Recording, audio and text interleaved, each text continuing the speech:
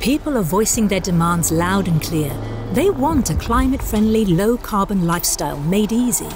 As construction materials used in the world today account for 11% of the global CO2 emissions, there is a need to shift from non renewable construction materials like steel and concrete to renewable, low carbon, and circular building materials such as wood. Wooden buildings store carbon for their entire lifetime instead of releasing it, contributing to green cities and communities. And people living or working in wooden buildings have lower heart rates, perform better, and report improved ability to focus.